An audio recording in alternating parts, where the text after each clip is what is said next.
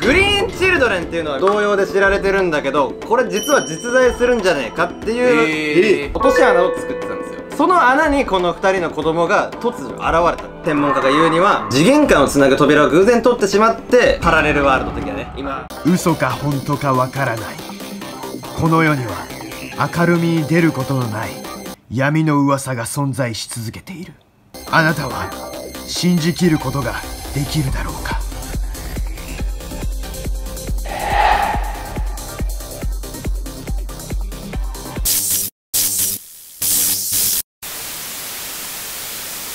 都市伝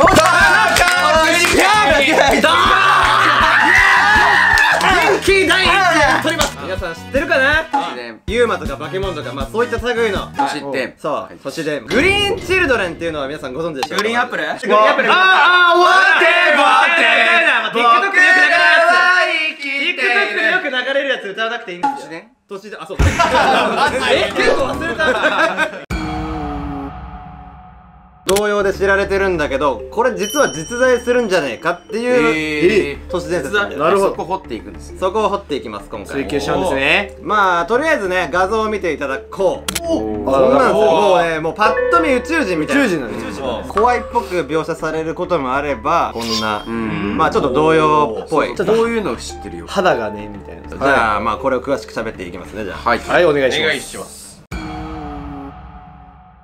イングランドで年代が1100年ぐらい、まあ、12世紀。めっちゃうまい結構前だね。ウールピットっていう村が舞台でそこの村の狼を捕まえる用の罠で落とし穴を作ってたんですよ。その穴にこの2人の子供が突如現れたっていうね。2人の子供を助けて、まあ、ウールピットの村に、まあ、一応保護することになりましたと。でも言語が喋れないんですよまず。これは多分悪魔系のああやばいやつだと悪魔とか化け物系のやつだってなって。殺してしまおうか。ってなっちゃったでもそれだとちょっとさすがにかわいそうっていうのもあって、はい。じゃあ村長ちょっとあんたこの子預かってよみたいな感じで一応保護したんですよ、まあ、普通の人間みたく生活しようとしたんだけど食べ物を与えても全然飯食わないんですよええもうなんかうーみたいな。うーみたいいらないみたいな。なうん。もう言葉も喋れないからうーうー仕草でやるしかない。そうもうそんな感じ。そう。うまいね。15歳までお前じゃん。すげえよ全然飯食わないからちょっとこのままじゃね死んじゃうしどうしようってなってた時に、はい。偶然村で収穫された豆が運ばれてきたんですよ。はい。その豆を見た瞬間に形相グッて変えてうわっってなった、豆？あこれなら食うかもしれないっつって豆を与えた瞬間に生のままもううわバリバリ。バリバリ。もうええやば。豆は食うんだってなって嬉しくなってもうそのままそう。やっと食べてくれたからね全然食わなかった。はい。そう。嬉しがってもうアホみたいに豆を与えたわけですよ、そしたら男の子の方は様子がもうおかしくなっちゃって、病死してしまいます。ああそう。ええかわいそう。こっからがよくわかんないんだけど女の子はねどんどんどんどんね元気になっていくんですよ。うん。逆に。そう逆にそう豆だけで。次第に普通の人間が食うような飯も食い出して肌も緑色からどんどんどんどん肌色になっていって。ええ全然喋れなかった言語も英語どんどん覚えるようになって、すごい。すごいなんかもうその村の社会で順応し始めた、でまあその女の子はその後、キリスト教徒として洗礼を受けましてアグネス・バリーっていう名前をもらってどんどんどんどん普通の人みたく生活していったと、はい。さらには男の人と結婚して幸せな生活をしてしまいにはもう夫よりも長生きするという、すごい。ね そうそうそうそう。もう弟とは対照的にものすごいハッピーな人生を歩んでいったっていう。で言語を覚え出した頃から村人もこうバリーに聞くわけよね。なんであの穴折ったみたいな。ああまあ気になるよね。でどっから来たの？って言ったらもう即答でまあセントマーチンズランドから来たと。でまあ続けてこういうわけですよ。父親と外出してて羊に草を食べさせていたと。その時突如もう巨大な嵐がわーってきてその嵐で意識を失ってしまったと。でそして気がついたら狼の罠の穴にいて、セントマーチンズランドが一体どういう国だったかって朝焼けと夕焼けを交互に繰り返したようななんかモヤモヤした世界がずーっと繰り返されるようなところに至っていってるんです。よすごいお話だね左にセントマーチンズランド出身の人がいます。あのずっと人生先までモヤモヤしてますから。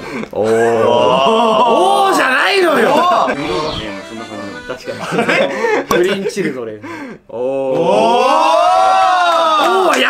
で。外しそうなトーンであんま外さないでいって 実はグリーンチルドレンの話はイングランドだけではない。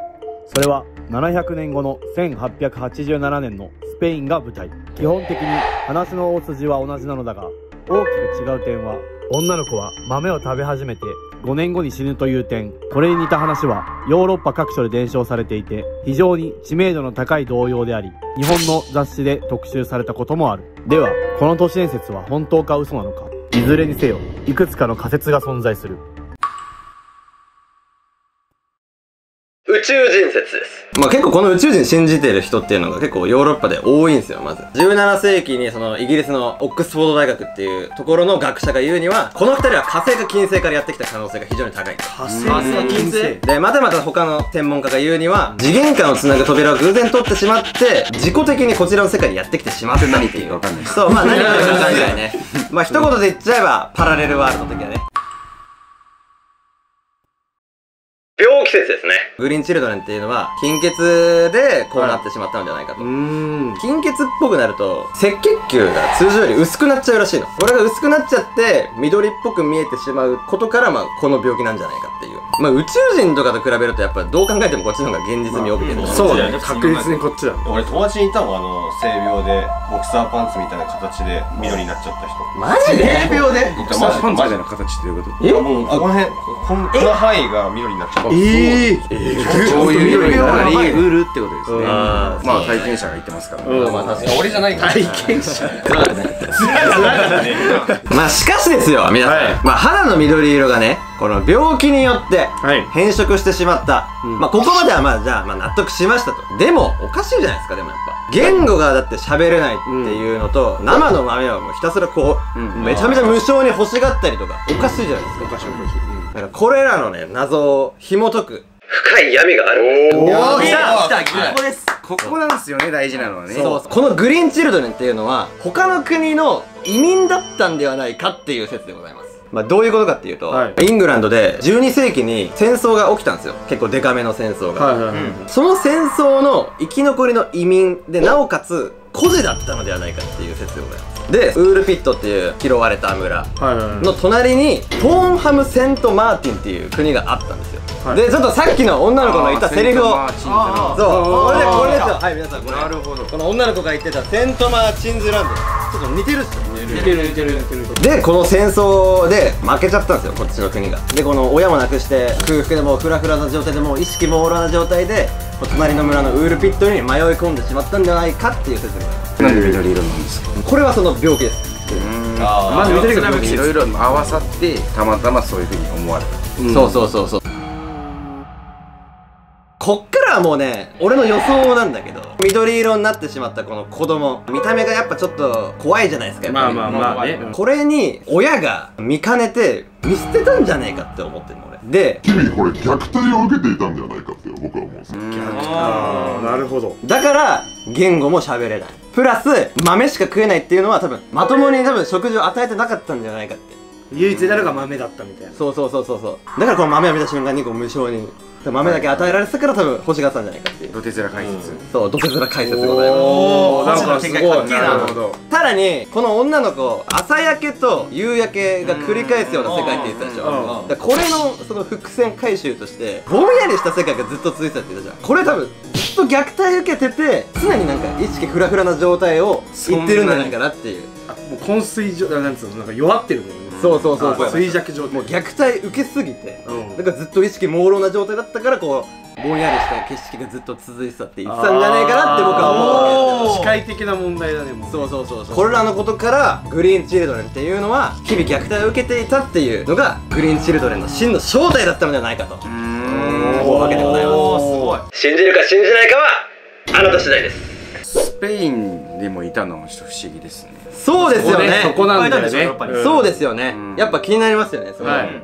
これちょっと後話として。おおー素晴らしい。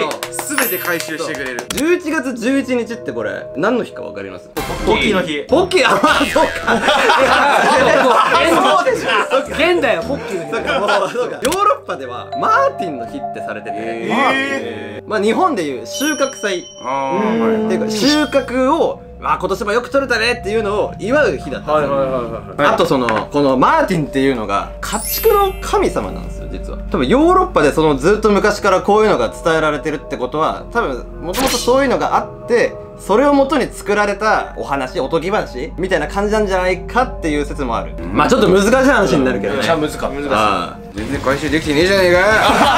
お前やり直せ俺が頭良すぎてちょっとお前に伝えるのがちょっとあれだわ。難しいわ